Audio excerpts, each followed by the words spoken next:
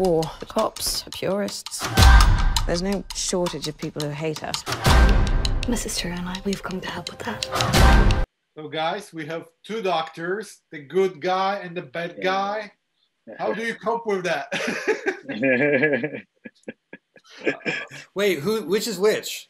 yeah, that is, you tell us, David. infor- unfortunately, in most of the projects that I see you, you're the bad guy. So, Not He's calling you true. oh, you You know, know uh, it's true. No, I know. uh, We're, but I, I will say, in all honesty, and, and Zackary can attest to this, that as actors, we never judge our characters, and that you know your function as an actor is to be the advocate for your character, to show your character's point of view, and of course, as a character, I can only understand the world the way that he understands the world, and so from his point of view, he's in search of, of knowledge, and he's acquiring this knowledge in the way that is the best. And if you think about Victorian England, um, you think about the fact that you had these people who considered themselves at the top of the heap. As a white male, he would have no problem considering it his privilege to go ahead and operate on these people who had less power. And um, women or somebody else from a different marginalized group. And so that's a great reflection in a way of the world which we're in. Think of Massen's, you know, sort of power. Even think of Lavinia Bidlow's power as a wealthy woman in that in that in that in that society. Everybody is acting out of their own point of view, and many of them could be considered evil. You know, Mm. is Massen evil? But Listen to this. I would buy it in a second, but there's one little thing. Your Yeah. character has a lot of fun of hurting people. come on, he takes joy in his work. What's wrong with that? Joy in his work.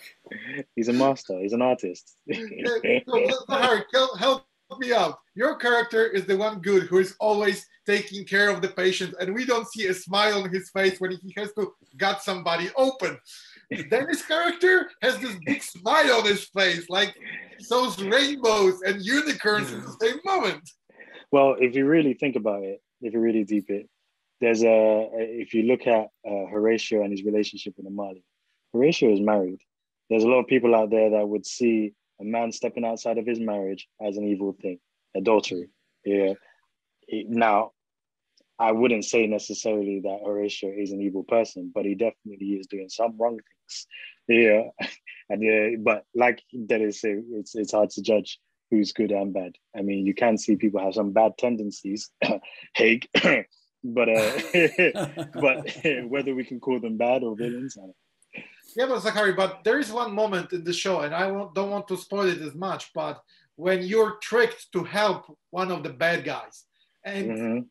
you don't use this moment to to, to make any uh, uh, any regrets. You help them because you're a doctor. Mm. Do you think Denis that your character would do the same? You know, um, I- I- this tough thing about the show is that there are things that you don't know, and so um, all I'll say is that many of the, our characters have had previous um, uh, interactions. Mm. That's all I'll say. There were previous lives. Okay, guys, when when you read the script for the first time, what was your first thought? What's That's happening? yeah, legit, WTF, yeah. Because uh, my first thought is was like I'm reading the Victorian X Men, and I love it. I like how is it uh, made, how the world works in this show, how the characters are shapen, and it all looks amazing. And Denis, this is a question for you because your character right now for the fourth season that we saw, his works underground in the dark. How did you like the scene that they made for you? Because it looks very creepy, as I had, I have to say. No, they're all great. You know, the the style of the piece is so beautiful, whether it's the costumes or the props or the lighting, but even the music and the way that it is superimposed. I'm thinking of that great scene, um, you know, with the, showing a coffin lowering in the ground and showing men carrying things on their shoulders, the union workers at the docks at Massen's factory. That great juxtaposition of those two images, and that the the movie uh, the, the the series does that all the time with images, and so I love my my underground stuff, and I love I love the worlds that they're making um, because they are gothic and horror horror filled um, at the same time as being uh, real in a strange way.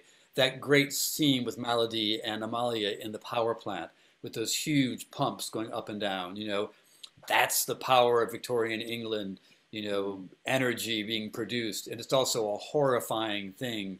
The scale of it is horrifying. The inhumanity is horrifying. And so I think it, it's such a great stylistic world in that regard. Mm. And this show also shows both sides the men that don't like changes and women that are fighting for their uh, for their rights. And Zahari, it's a question for you because you're one of the few guys that is on the right side of the history. What do you think? How does it uh, renounce to the and age that we're living right now? Um, I, I think it resonates with the age we're in right now in, in terms of just what you said, you know, fighting, you know, against, uh, well, fighting for change, you know, um, against uh, uh, something that wants to deem themselves immovable objects, be it, you know, the monarchy or, you know, Massen, uh, who's a representative of Great Britain. Um, and that, that, that, that screams to exactly what's happening now in terms of, you know, um, yeah, you know the the rights in the world you know uh, with police brutality with uh, you know just you know, women's safety you know, uh, it's it's a show that that resonates in every pocket of society um, and the fight against change. All right guys thank you very much. Our time is over. Thank you fingers crossed for the uh, next uh, season and for your other projects. Denis it was very nice to see you for the first time. I'm a big fan. Thank you Hey, I just Thank I you. just worked with Malgo Szumowska.